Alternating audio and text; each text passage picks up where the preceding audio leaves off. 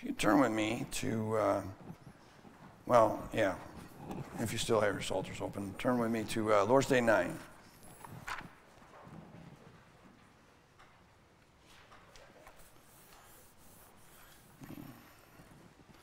If you'd like to participate, uh, I'll read the question, and if you respond by reading back the, the answer of Lord's Day 9.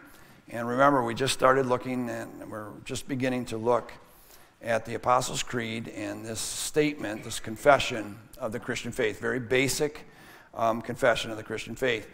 So, what do you believe when you say, I believe in God the Father Almighty, maker of heaven and earth?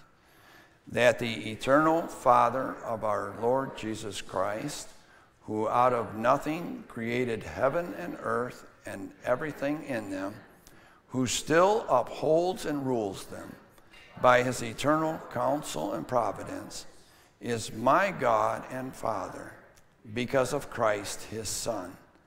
I trust him so much that I do not doubt he will provide whatever I need for body and soul, and he will turn to my good whatever adversity he sends me in this sad world. He is able to do this because he is Almighty God. He desires to do this because he is a faithful Father. And then, if you turn with me to uh, John chapter 8 and turning to verse 37 of John, the Gospel of John, chapter 8.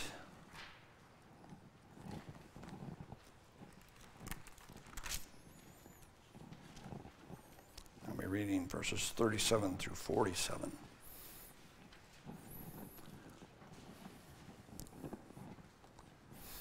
So Jesus is, again talking to the people, and uh, he's talking, and it's just, um, it's, it's strange because in verse 30 he spoke these words, many believed in him. Verse 31 tells us, then Jesus said to those Jews who believed in him, and, and so there's, there's people that are believers in this, in this crowd, and there are unbelievers in this crowd. And uh, so in verse 37, we read, I know that you are. I should just start at verse 31.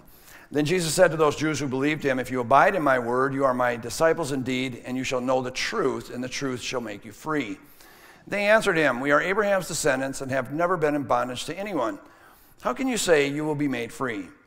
Jesus answered them, Most assuredly, I say to you, whoever commits sin is a slave of sin, and a slave does not abide in the house forever, but a son abides forever. Therefore, if the Son makes you free, you shall be free indeed. And I know that you are Abraham's descendants, but, I, but you seek to kill me because my word has no place in you. I speak what I have seen with my father, and you do what you have seen with your father. They answered and said to him, Abraham is our father. Jesus said to them, If you were Abraham's children, you would do the works of Abraham. But now you seek to kill me, a man who has told you the truth, which I heard from God. Abraham did not do this. You do the deeds of your father. Then they said to him, We were not born of fornication. We have one Father, God. Jesus said to them, If God were your Father, you would love me. For I proceeded forth and came from God, nor have I come of myself, but he sent me. Why do you not understand my speech? Because you are not able to listen to my word. You are of your father, the devil, and the desires of your father you want to do. He was a murderer from the beginning and does not stand in the truth because there is no truth in him. When he speaks a lie, he speaks from his own resources, for he is a liar and the father of it. But, I, but because I tell you the truth, you do not believe me. Which of you convicts me of sin? And if I tell you the truth, why do you not believe me? He who is of God hears God's words. Therefore, you do not hear because you are not of God. Thus ends our reading. And, uh, well, ask God um, to bless our uh, the reading of His Word. Father, again, having read Your holy and infallible Word, and, and as we delve into Your Scriptures and delve into the just some sweet, amazing, powerful truths, Father, we, we, we come again in, uh, in need, asking for that grace that is sufficient. Father, for we know that in our human minds and hearts that we are no different than these, these people that uh, Jesus was speaking to that could not hear his words um, they were filled with the spirit uh, of uh, their own desires. They were filled with the spirit of the devil. And um, their ears were closed to hear the words of the Holy One. But we pray, Father, that by the working of the Holy Spirit, by your presence here, that our hearts will be open to hear your word, to be encouraged, to be strengthened, to be lifted up. And for, for, for whoever has not yet known you and confessed you as, as Lord and Savior, Father, we pray, have mercy. Open their hearts so that they will know you while there is yet time. All these things we ask in Jesus' name alone. Amen.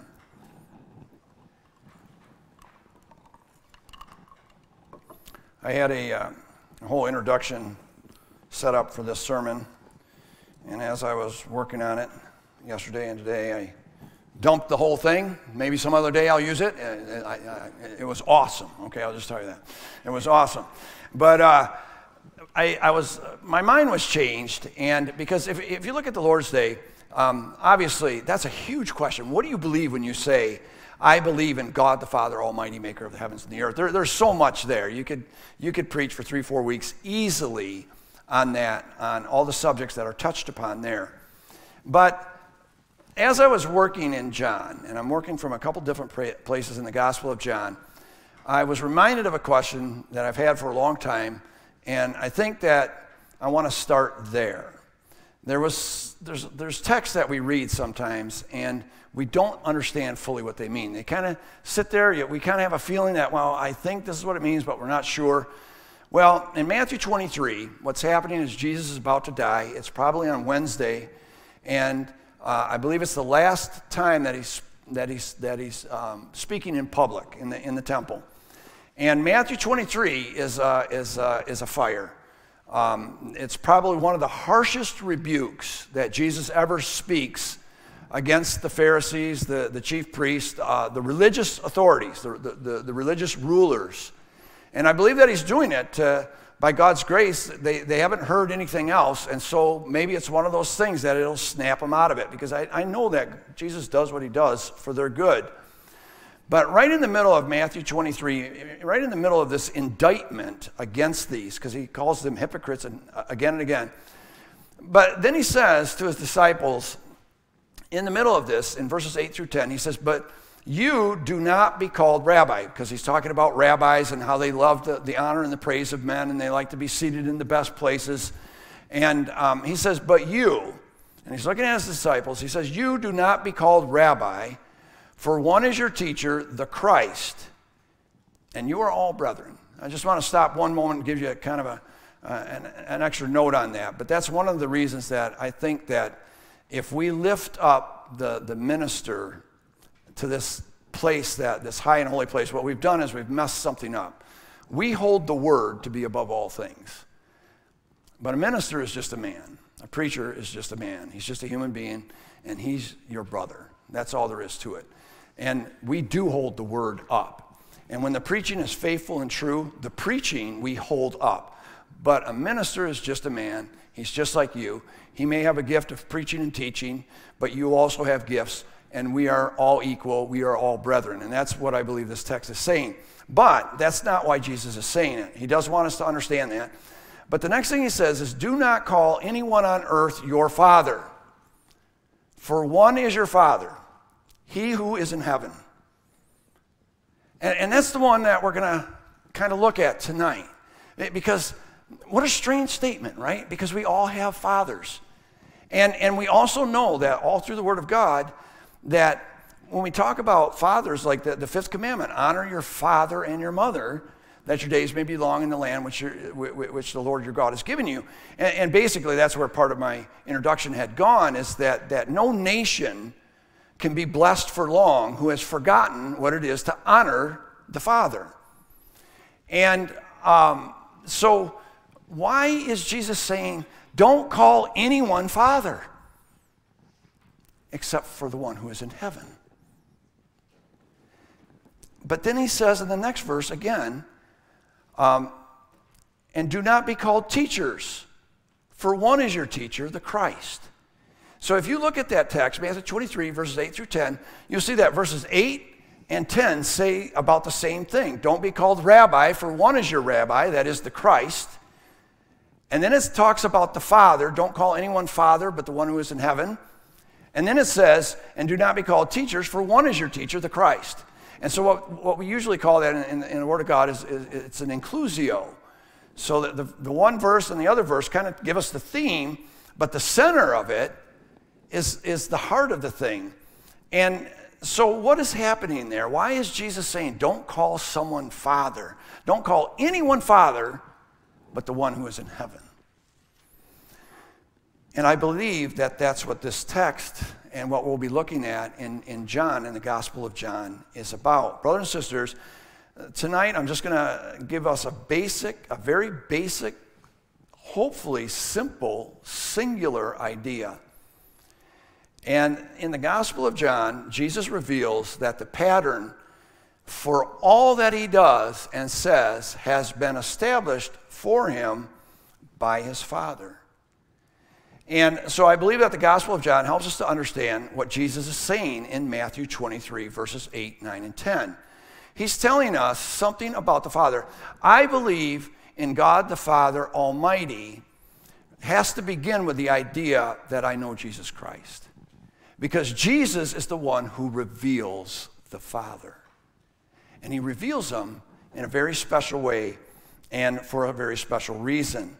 He says, so that I believe that God the Father, I believe in God the Father, means that he is the pattern and the model for all human behavior. Not just men, not just fathers, but all humans have the Father, and this is why the Father must be held up as singular because men and women, men and women, we don't just look to God for an example of fatherhood. We look to God for an example and a model and a pattern for all human behavior. And that's what we're going to see um, with Jesus. For Jesus is the one who is the revealer of the Father.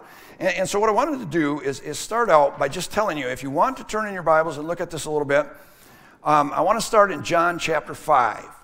And I'm just going to work through it, and, and you can kind of put the text in front of you. In John 5, verses 1 through 15, we find Jesus coming to the tabernacle or to the temple on a Sunday, on a Sabbath, not on a Sunday. On a Sabbath, he comes and he heals a man that has been infirmed and laying on his bed for 38 years. Okay? So he heals the man and then he leaves. And the next thing you know, Jesus is getting in trouble. Why? Because what happened is he told the man to pick up his cot, pick up his bed, and, and, and go. And, and so as the man picked up his bed and was walking through the, through the temple, um, some of the Jewish people, teachers and scribes, and, and those that are learned in the law of God accosted him. And they said, Look, you're carrying your bed on the Sabbath. That's against the Sabbath. You shall do no work on the Sabbath. Carrying your bed is, and, and they had very strict rules. I think there's like 625 different precepts and stuff that they came up with to uphold the Sabbath. And, and so they had very strict ideas of what you could and could not do on the Sabbath. You shall do no work. And so, why are you working and carrying your bed? And he said, Well, the one who healed me told me to pick up my bed and, and go and to walk. And, and so then they come to Jesus and, and they uh, are accusing him of, um, of, breaking the, uh, of breaking the Sabbath. And so in verses 16 through 23 of chapter 5, we find Jesus having a discussion with the Jews about why he does what he does and when he does it.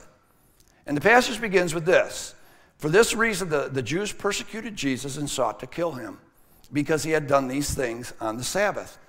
But Jesus answered them, saying, This is his first part, okay? My Father has been working until now, and I have been working.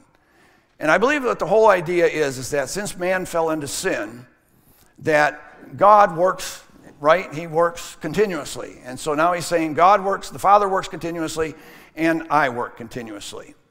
Okay? So in verse 18, this, this is what comes next. Therefore, the Jews sought all the more to kill him because he not only broke the Sabbath, but also said that God was his Father, making himself equal with God. Now, if you remember what we just read in chapter 8, verses 37 through 47, at one point they say God is our Father, right? So th- their objection is not to the fact that Jesus says that God is his Father. Their objection is to the fact that he says that God has been working till now and I am working. And so what he's doing is he's making an equation that's very clear that he and the Father are in some way equal. And that's, right, that's blasphemy. So he breaks the Sabbath and he's a blasphemer. So what we find is that now in verse 19, listen carefully to Jesus' defense of his words and actions.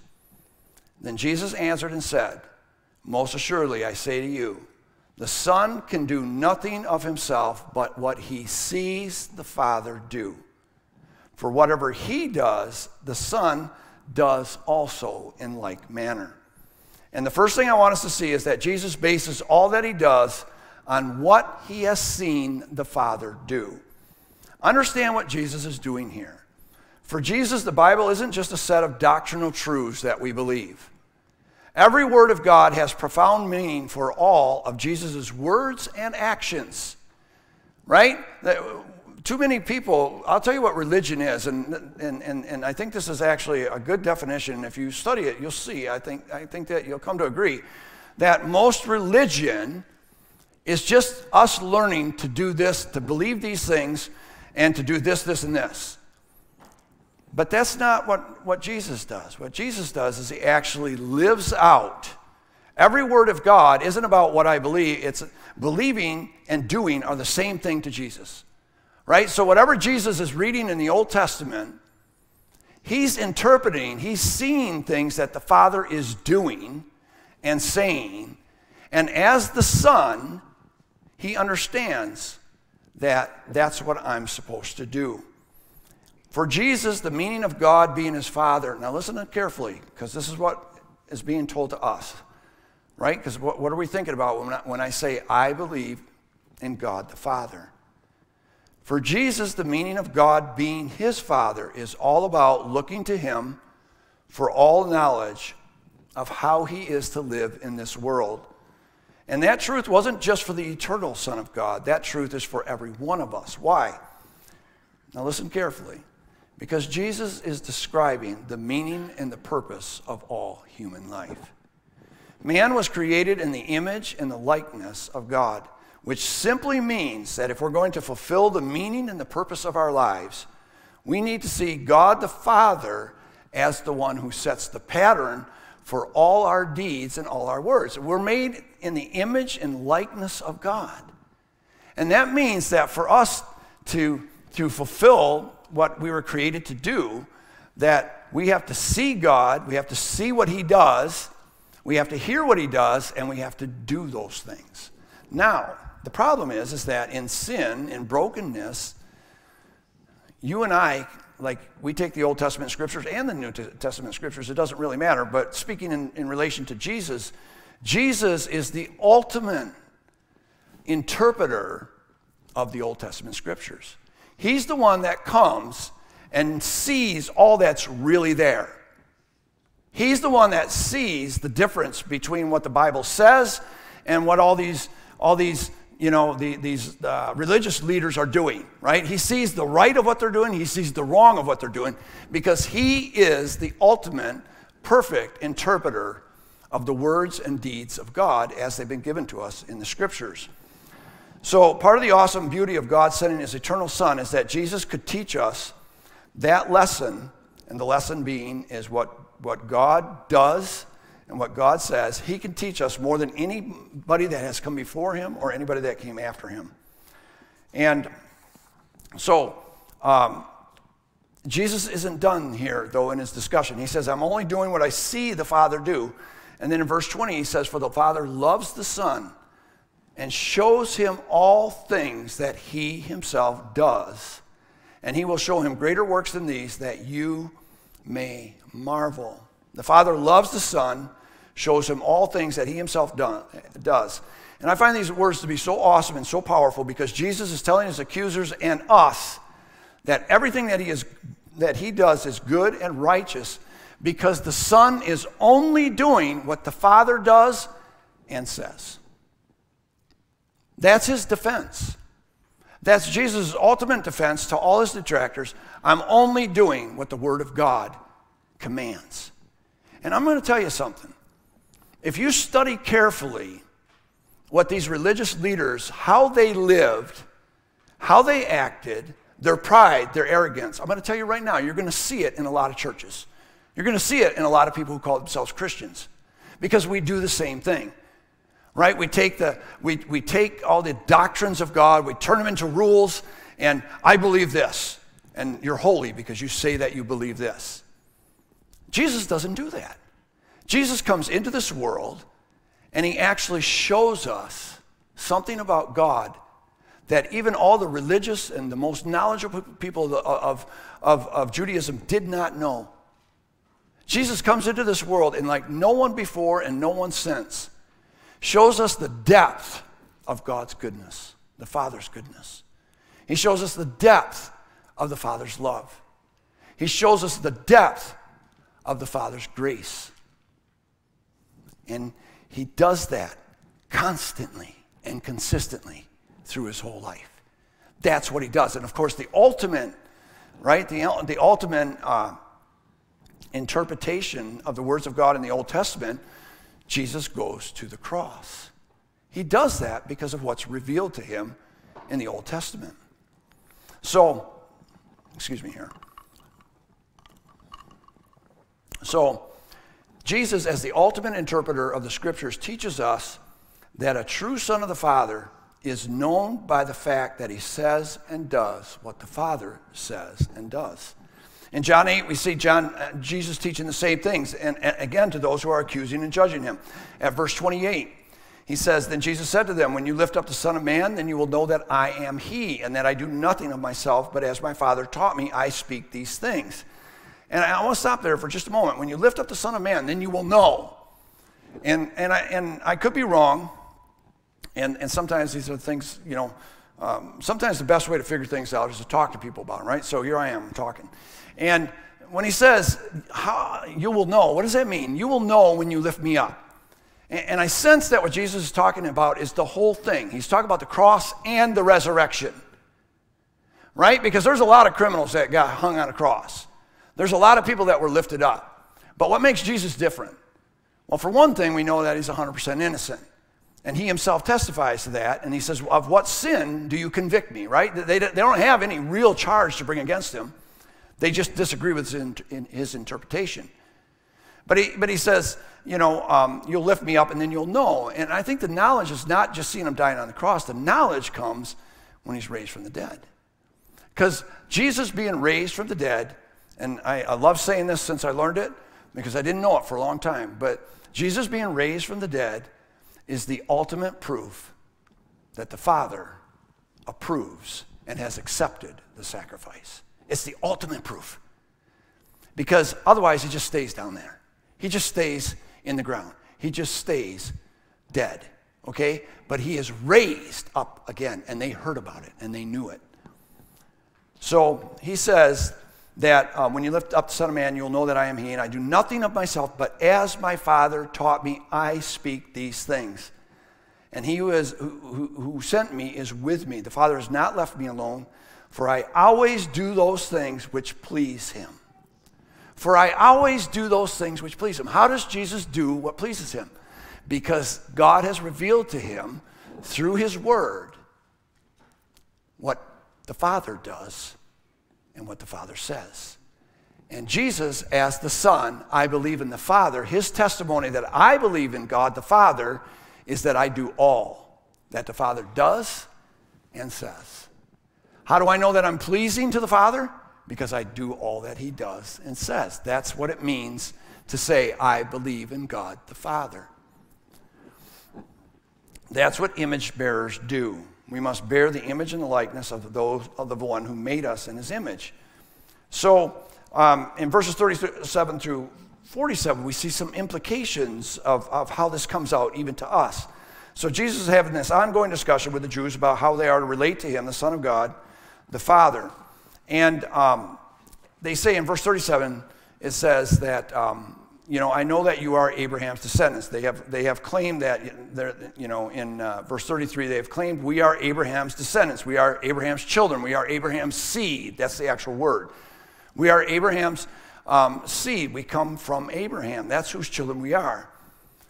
He says, I know that you are the seed of Abraham, but you seek to kill me because my word has no place in you. Now, listen to this.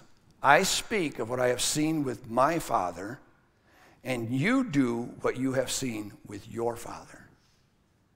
And I think that Jesus is telling us something very profound about fatherhood. All of humanity has, has one of two different fathers. You are either of God the Father or you are the children of the serpent, the devil. Okay? And that's what he's saying. He's saying, You are not. You know, if you are truly children of Abraham, you'd be truly children of God. But you're not because your deeds are evil. You see, and, and the connection, I think, is very simple, but again, it's, it's profound. What does it mean? I believe in God the Father. It means that we look to God as the sons and the children of God in Christ, that we look to Him to know how to walk, how to talk, and how to act in this world. That's what it means when you say, I believe in God the Father. You believe that He is um, the ultimate expression of who we are to be. And Jesus is the rabbi, the teacher, who shows us that, what we could not see on our own. So they are claiming that Abraham's their father. And, and then Jesus says, I, I speak of what I've seen with my father. You do what you have seen with your father. They're seeking to kill Jesus. Jesus says, You're only doing what you have seen your father do. Right? So, in their hearts, in their minds, um, they are following their father.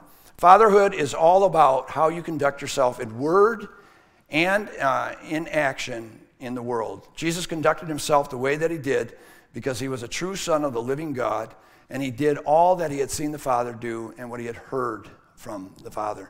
And of course, who is their Father? And verse 44 you are of your father the devil, and the desires of your father you do. That text, uh, that, that little excerpt that I had read, read earlier in relation to Ecclesiastes, that is why we understand and can see both beauty and brutality. Because humans in sin have two fathers. Our God, God is the only one who gives life. He's the only one who brings us into the world. All human souls are given life and spirit by God. But in our flesh, as we follow the desires of the flesh, we're following our father, the devil. And, and, and the truth is, is, brothers and sisters, that Christians understand this. Because we understand that, we, that, that the spirit um, fights against the flesh. We war and we battle against the flesh because it's in us. And, and that's one of the things that you can see in humanity. You can see somebody that can be such, so mean to people, and just nasty to people, and, and just not a good example at all. And then, by the grace of God, in the next day or two or three or something, you see them do something amazing, something beautiful, something that brings tears to your eyes, and you wonder, how can that be? The child of God knows. We are children of our Father. And it's Jesus Christ who comes. He's the fulfillment. And, and he, he really is the one who fulfills the, the he, to, to, to, I'll just say it this way, the way that I wrote it. Okay, to say I believe in God the Father is to say that God is the pattern and model for all human behavior, as we have been taught by our one rabbi and teacher, Jesus Christ, who is the fullness of God bodily. So when Jesus says, Follow me, what he's doing is he's saying, I follow the Father perfectly, but the Father is spirit, and you're flesh. So I came in the flesh so that you could see me. And by seeing me, you can see the fullness of the Father bodily. And so Jesus is the ultimate interpreter of who God the Father is, of his love, his mercy, his goodness, and his grace. He's the ultimate one who walks in the ways of the Father and we follow him, our teacher, our rabbi, our guide, our savior, he shows us the way.